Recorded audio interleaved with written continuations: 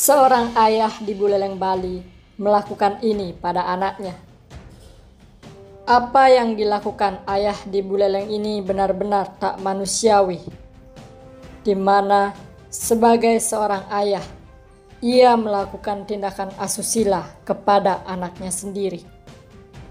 Kejadian ini terjadi di salah satu desa di Kecamatan Sawan, Kabupaten Buleleng, Bali ayah yang berinisial DPB 45 tahun tega memperkosa anak kandungnya sendiri yang masih berusia 15 tahun. Kasih Humas Polres Buleleng, AKP Gede Sumarjayo mengatakan, aksi itu dilakukan pelaku pada Sabtu 26 Maret 2022 dini hari sekitar pukul 00.30 Wita. Pelaku melakukan aksi bejatnya saat rumah dalam keadaan sepi. Peristiwa naas yang menimpa gadis belia ini berawal dari korban yang sedang tidur di kamarnya. Tiba-tiba saja DPB datang ke kamar korban untuk melakukan aksi tak senonoh. Korban yang masih duduk di bangku sekolah menengah ini sempat menolak dan melakukan perlawanan. Namun, pelaku DPB tetap memaksa korban untuk memuaskan nafsu bejatnya. Bahkan, pelaku juga memegang kedua tangan korban dan menelanjangi pakaian korban. Dengan leluasa, pelaku kemudian menyetubuhi korban yang sudah tak berdaya. Akibat perbuatan ayahnya tersebut, korban pun merasa trauma dan ketakutan.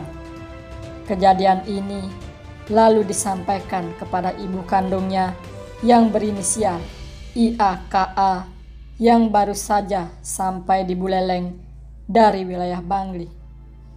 Mendengar penuturan anaknya tersebut, ibunya pun tak terima.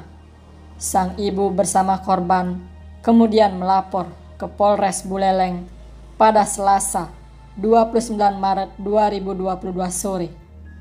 Keduanya didampingi oleh tim dari Pusat Pelayanan Terpadu Pemberdayaan Perempuan dan Anak P2 TP2A Kabupaten Buleleng.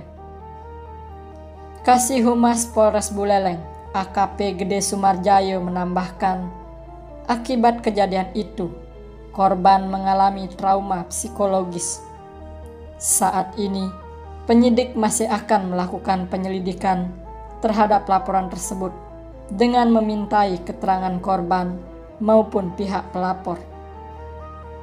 Selain menggali keterangan korban dan pihak pelapor, polisi juga melakukan tindakan visum terhadap korban di RSUD Buleleng.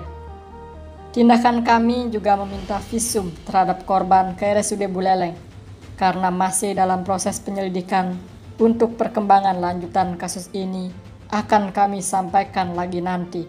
Kata Sumarjayo pada Rabu 30 Maret 2022.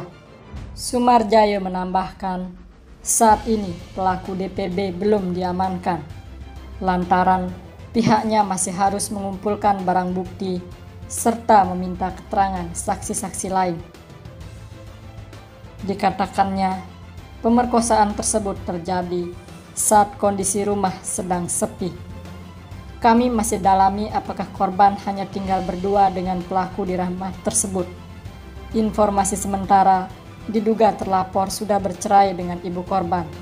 Saat pemeriksaan, ibu korban baru datang dari Bangli, kata Sumarjaya.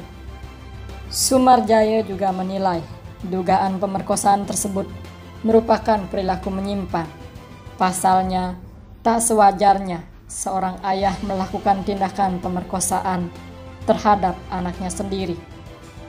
Namun demikian, pihaknya saat ini masih mendalami hal tersebut. Di sisi lain, korban yang masih di bawah umur sudah ditempatkan di rumah aman untuk memulihkan kondisi psikologisnya pasca kejadian itu korban mendapatkan pendampingan dari tim Pusat Pelayanan Terpadu Pemberdayaan Perempuan dan Anak P2 TP2A Buleleng. Korban yang masih di bawah umur sudah ditempatkan di rumah aman dan didampingi psikolog untuk memulihkan kondisinya. Katanya,